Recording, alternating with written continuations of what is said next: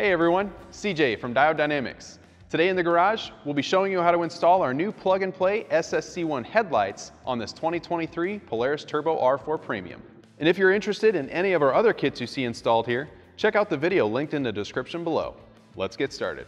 We'll start by using a T40 Torx to remove the two bolts on the upper hood panel.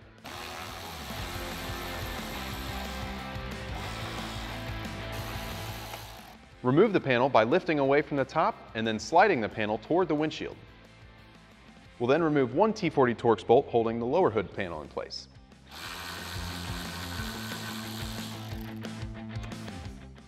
Remove the panel by pulling away from the top and then sliding it downward toward the bumper. With a trim removal tool, you'll then remove one plastic clip on the outside of the fender and another on the inside,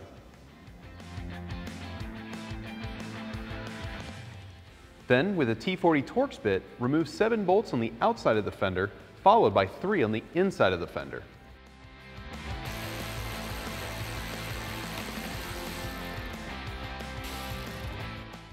There are two more T40 bolts on the speaker panel that will need to be loosened.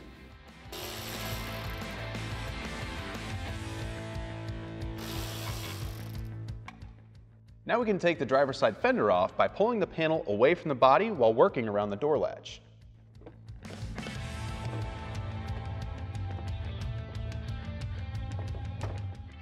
With our T40 Torx bit, we'll remove four more bolts holding on the upper hood panel, along with one more plastic clip with a trim removal tool.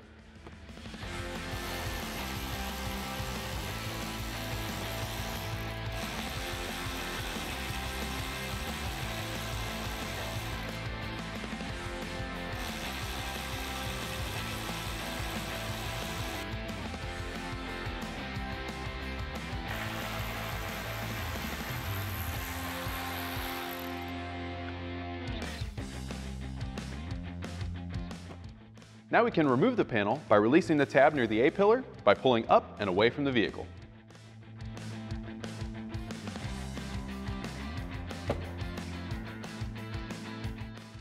With the panel removed, disconnect the factory harness from the OE headlight by lifting up on the retention tab and pulling the connector away.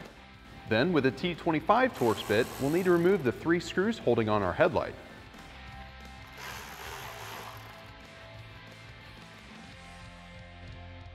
On top of the grill, there are two plastic tabs you'll need to squeeze and pull away to remove the grill and gain access to the last screw on the headlight.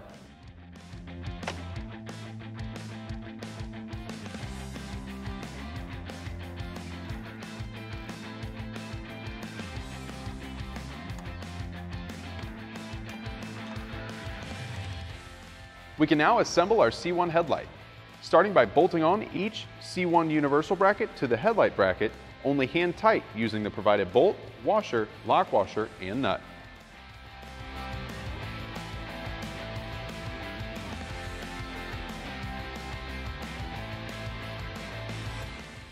Then, we can bolt the C1s to their universal brackets using a 3 8 wrench and 5 32 Allen. It's important to note the wide pod will be the innermost, our spot will be in the middle, and our fog will be the outermost pod. You'll want to make sure to not tighten them down all the way just yet to leave room for adjustment later. Then you can plug the DT adapter harness to the correctly labeled pods.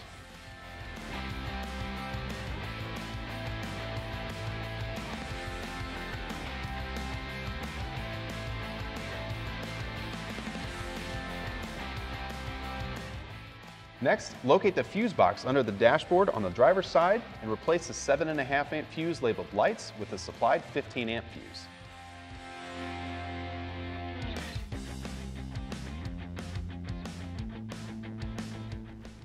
We can now plug in and bolt on our C1 headlight assembly to the vehicle using the factory T25 bolts and the included washers and spacers.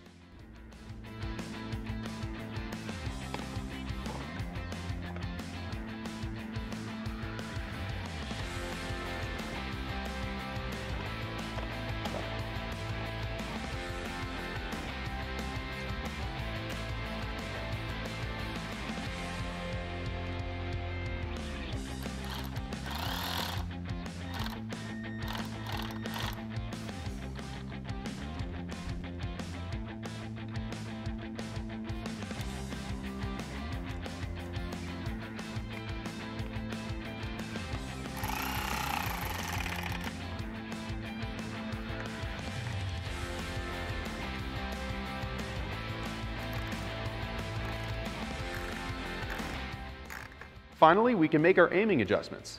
Rotate each pod left and right, tightening it down from the bottom with a 13 millimeter socket and extension. Then tilt your pods up and down, tightening them with a 3 8 wrench and 5 32 Allen. With the driver's side complete, we can repeat the same steps on the other side. However, we'll need to remove the antenna using an 8 millimeter socket and an extra push clip here on the side with a trim removal tool. With everything functioning and aimed properly, we can reassemble everything by reversing the steps we used to take it apart and zip tie any loose wiring, keeping away from any hot or moving parts. With our SSC1 headlight kit installed, not only will you have an aggressive off-road appearance, but you'll also have three different output patterns providing you with wide, medium, and long-range visibility significantly better than stock. With the addition of amber accent lights when the main beams aren't in use.